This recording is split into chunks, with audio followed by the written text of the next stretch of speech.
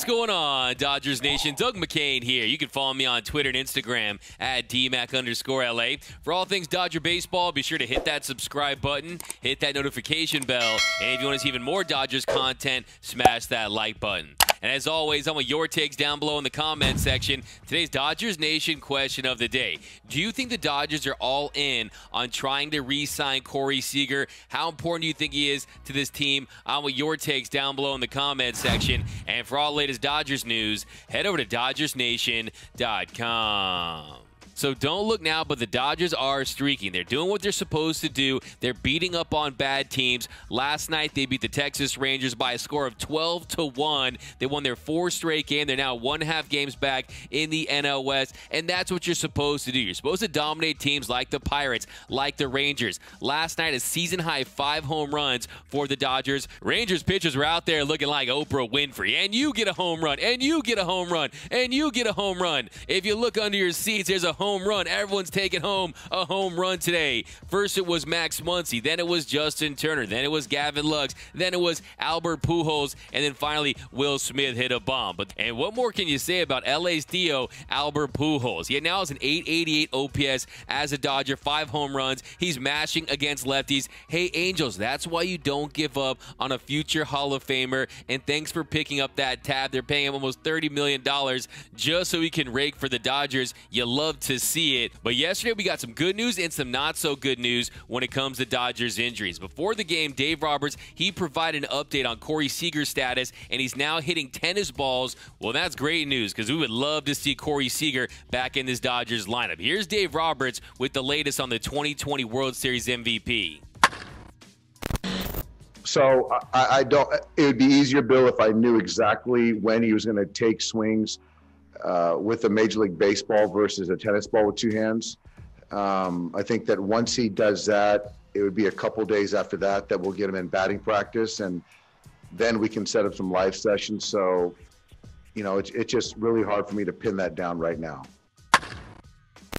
And then Doc went on to say that he's about two weeks away from beginning his rehab assignment and that the floor will be about seven games. So, you know, my plan for success for Corey Seager get him back, get him hot, and keep him healthy. Corey Seager is going to have such a big impact on this lineup, especially once he starts playing like the player he was last year. And he's got a lot at stake because he's in his platform season. He's going to enter free agency. You know, he wants to get a big bag. My question to you guys is how committed do you think the Dodgers are to signing him long term? And do you think the remainder of the season, the postseason, will have an impact on that? I think at this point, the Dodgers, they're always playing chess. They're always thinking five moves ahead. Andrew Friedman only speaks when it's time to yell checkmate. But I think the Dodgers know at this point whether or not they want to offer him a massive deal, a $250 million plus contract. And if he finishes the season strong, if he comes back and rakes and looks like the player he did in 2020, and then he goes through the postseason and has a lot of success, let's say he wins another NLCS MVP and another World Series MVP, then what does his number look like?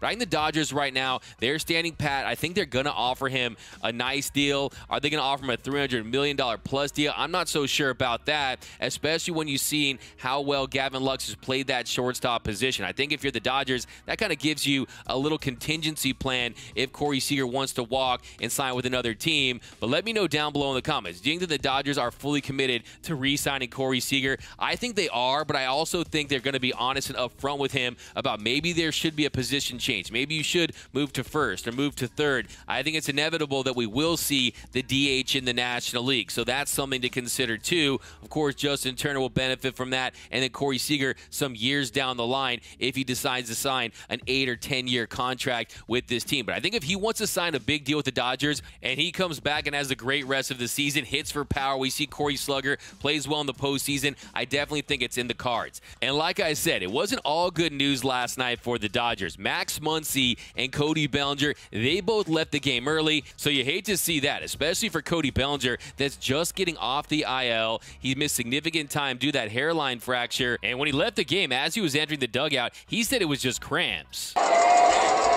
He says clamp. But it turns out it was more than that. After the game, Dave Roberts gave us an update on Max Muncy and Cody Bellinger. They're both going to be day to day. Muntz felt something in his side. I'm really hesitant uh, to not say oblique, but that's kind of where it was at So we'll see. Um, got ahead of it early, uh, in our opinion and Max's opinion. So tomorrow will be more telling. Uh, with Cody, just felt it on a take, the ball in, and he felt his hamstring kind of tug. Thought it was a cramp. Didn't feel it legging out that uh, trying to stretch a single into a double. And then when he was running down the line, didn't feel great with it. So he's kind of in that same bucket as far as we'll, we'll know more tomorrow. They have not gone for testing. So tomorrow we'll just kind of see how they feel and then we'll kind of go from there. So, yeah, guys, a little prayer circle. Let's hope that this is nothing serious. We need everyone back and everyone healthy. We need to see that Death Star fully operational. And then Max Muncy, he has an all star game that he's going to be playing in in July. So, we don't want any IL stints for him. And he was kind of on a little bit of a cold streak before he hit that ankle. You're starting to see some injuries pile up for Max Muncy. Some knick-knack injuries. First, the ankle could be an oblique now. And then Cody Bellinger. Anytime he's injured and it's a running thing, that's when you start to get concerned because he's a center fielder. He's very athletic. He uses that athleticism. Hopefully, this is nothing serious for Belly. But let me know down below in the comments on a scale of 1 to 10, how committed do you think the Dodgers are to signing Corey Seager long term? I want all of your takes down below in the comment section. My name is Doug McKain. You can follow me on Twitter and Instagram at DMAC underscore LA. That's at DMAC underscore LA. If you haven't yet or you're new to the channel, be sure to subscribe to the Dodgers Nation YouTube channel. For all latest Dodgers news, rumors, high videos, podcasts, and more, you're going to find it right here. So be sure to smash that subscribe button, smash that notification bell, and if you want to see even more Dodgers content, smash that like button. For all latest Dodgers Nation merch, head over to gearup.la. Some of the best Dodgers t-shirt designs in the game, you're going to find it right over there at www.gearup.la. For the latest Dodgers news, head over to dodgersnation.com. And until next time, think blue, bleed blue, and I'm out.